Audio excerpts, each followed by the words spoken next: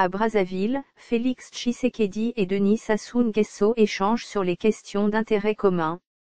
Le président de la République démocratique du Congo, RDC, Félix-Antoine Tshisekedi, a effectué un séjour du 15 au 16 juillet à Brazzaville au cours duquel il a eu des entretiens avec son homologue Denis Sassou Nguesso sur les questions de coopération bilatérale, la pandémie du coronavirus, Covid-19, et la situation prévalant en Afrique et dans la sous-région. Les deux chefs d'État ont évoqué plusieurs sujets, notamment, la possibilité de créer les conditions de rapatriement des personnes déplacées suite aux événements survenus dans la province de Maïendombe, en RDC, et qui se sont installés dans le département des Plateaux, au Congo-Brazzaville. Ils ont exprimé leur volonté de consolider les relations profondes de fraternité, d'amitié et de coopération qui existent entre les deux peuples et les deux pays. De son côté, le président Denis Sassou Nguesso a réaffirmé son soutien, indéfectible, aux efforts du président Félix Antoine Tshisekedi en faveur de la paix, de la stabilité et du développement en RDC, en Afrique centrale et dans la région des Grands Lacs. Il a lancé un appel aux acteurs politiques et à la société civile de la RDC, de tout mettre en œuvre pour préserver les acquis démocratiques et la cohésion nationale, gage de développement pour le pays. S'agissant de la pandémie de coronavirus, les deux chefs d'État ont appelé au renforcement de la solidarité internationale, en insistant sur la nécessité qu'un futur vaccin contre cette maladie soit un bien public mondial, accessible à tous.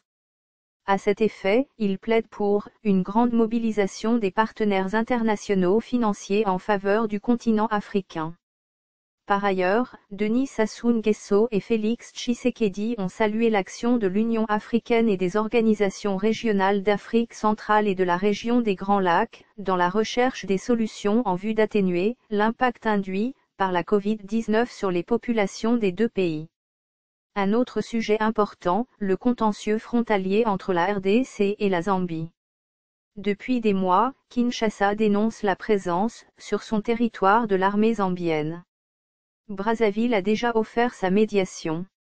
À ce propos, Félix Tshisekedi a témoigné sa reconnaissance au président Denis Sassou Nguesso pour son apport dans la recherche de solutions à cette crise. Actuellement, a-t-il indiqué, le problème se trouve au niveau de la SAADEC, mais le président en exercice de la CIRGL veille au grain. Jusqu'ici la situation est calme en attendant que la SADC nous aide à tracer les frontières qui datent du temps colonial et à nous débarrasser définitivement de cette situation. Le chef de l'État de la RDC a, en outre, salué le rôle que joue son homologue congolais, dans le règlement des conflits qui secouent la sous-région et l'Afrique, dans le cadre de ses mandats à la tête de la conférence internationale sur la région des Grands Lacs, CIRGL, et du comité de haut niveau de l'Union africaine sur la Libye au sujet des réformes institutionnelles entreprises au sein de la communauté économique des États de l'Afrique centrale, SIC, les deux chefs d'État se sont félicités de la tenue prochaine du sommet ordinaire des chefs d'État et de gouvernement, qui marquera, selon eux, le point de départ de la mise en œuvre de la nouvelle architecture, en vue d'une intégration plus effective des pays membres concernant le déroulement du processus des réformes engagées par l'Union africaine, notamment, la réforme institutionnelle et la mise en place de la zone de libre-échange continentale africaine, ZLECAF, les deux personnalités ont exprimé leur satisfaction. Denis Sassou Nguesso a saisi cette opportunité pour exprimer à Félix Tshisekedi son plein soutien pour son futur mandat à la tête de l'organisation continentale en 2021